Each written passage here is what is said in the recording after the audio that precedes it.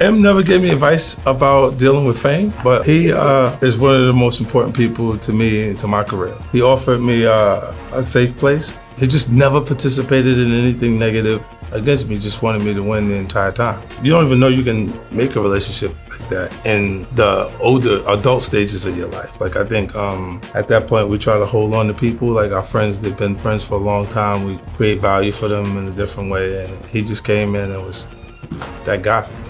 I'm developing the Eight Mile film into a series. You know, so they should expect it to be just as big as the feature film, and you know, just huge. It'll be huge. You know, and then the interest in it because people, the time period, Eight Mile was uh, capturing was further back. So as we move it into modern times, you'll see things that how we function now. Technology changed the way people enter the music business.